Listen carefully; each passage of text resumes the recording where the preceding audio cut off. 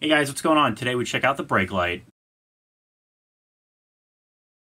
So Dr. Z made this little contraption, and if you're watching this, you probably know what it is. It's an attenuator. It has four different options, which is really cool. It's a pretty easy setup for an attenuator. It's kind of idiot proof, but hey, we'll go through the how you use this thing. But you need two speaker cables.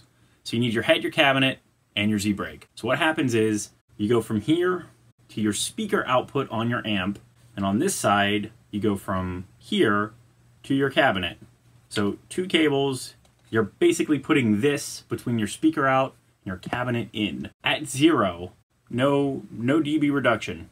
On one, you have a two decibel decrease. At two, you have a five decibel decrease. At three, you have an 8 decibel decrease. And at four, you have an 11 decibel decrease. So this is the most attenuation you will get out of this.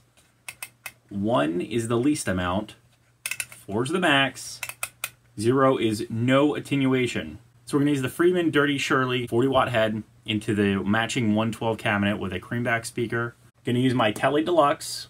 I'm gonna loop a riff, so very basic. Here's a picture of the settings. So I'm gonna go through and show you, um, I got my iPad sitting right on top of the head. I'm gonna go through each of the settings of attenuation so you can see the reduction standing right on top of it. And then I'm gonna put the iPad, so the DB reader, three feet on the floor in front of the cabinet. So it's gonna pick it up and we're just gonna see how many decibels it actually reduces, but it does make a difference in the room. So it's a very useful attenuator. There are other ones I've had in the past. I've used the THD stuff, more attenuation on them, but it's a very cool unit. It's solid. It's obviously pretty big. I mean, it's a, it's a big pedal, um, but good studio tool if you're interested in this, I hope this helps, and uh, let's uh, check it out.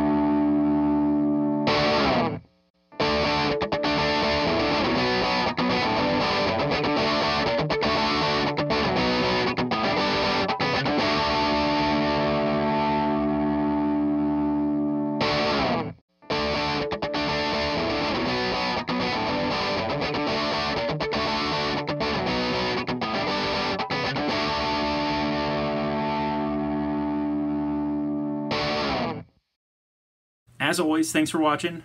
Remember to like, share, and subscribe. Many more videos to come. Don't miss one sub.